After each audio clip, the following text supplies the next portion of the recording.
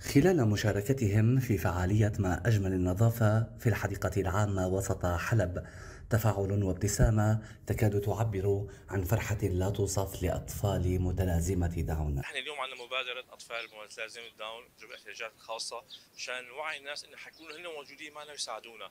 فيعني الأطفال هدول عم يشتغلوا عشان موضوع النظافة وموضوع النظافة العامة وإلى آخره. فلازم نحن نعمل هذا الشيء بحيث أن يكون شيء حضاري نوعا ما.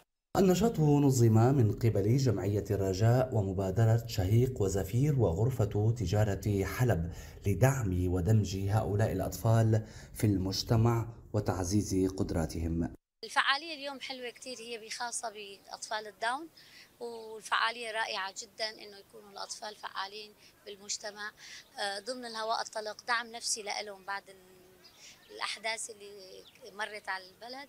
زائد إنه هن عن إبراز قدراتهم ومهاراتهم آه، بكل مكان آه، بالحضارة بالنظافة بالنشاط بالدمج مع كافة الشرائح اللي موجودة هون. نحن هون كغرفة تجارة حلب آه، اليوم مشاركين بفعالية آه، النظافة اللي هي عنوان اليوم الفعالية هي النظافة.